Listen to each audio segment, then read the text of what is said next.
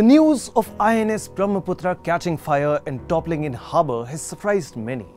The Indian Navy warship was undergoing maintenance at the Mumbai Naval Dockyard when the incident happened.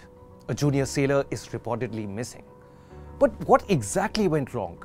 And how did the INS Brahmaputra topple? News 9 Plus decodes. The first of the indigenously built Brahmaputra class guided missile frigate INS Brahmaputra was commissioned in 2000.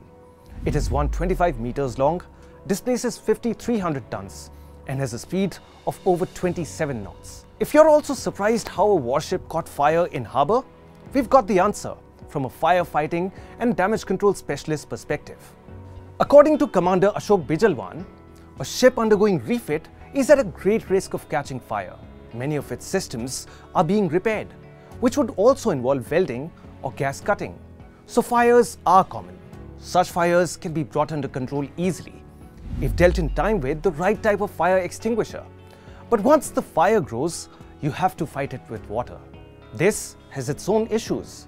According to Commander Bijalwan, when you spray water on fire, water collects on the deck and adds to the ship's weight. This affects the ship's stability, so the extra water has to be pumped out and thrown overboard. In case the pumping machine doesn't work, the ship will begin to tilt under the weight of the accumulated water, and after a point, it will topple over.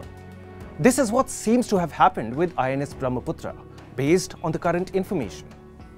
Is this the first incident of its kind? Not at all. This is not the first time a Brahmaputra class frigate capsized in harbour. In December 2016, INS Betwa toppled while undocking in Mumbai. At least two were reported dead and 14 were injured.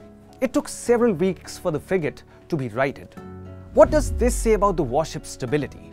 Well, it's understandable to question the ship's stability, but according to Commander Ashok Bijalwan, in warship design, stability has to be sacrificed to a certain extent to improve the ship's agility. INS Brahmaputra carries anti-aircraft guns, missiles, torpedo launchers, and a wide range of sensors. The Navy's investigation will likely look into any corrective measures needed to avoid such incidents in the future. Hopefully, INS Brahmaputra will be righted soon and be operational again after repairs and maintenance.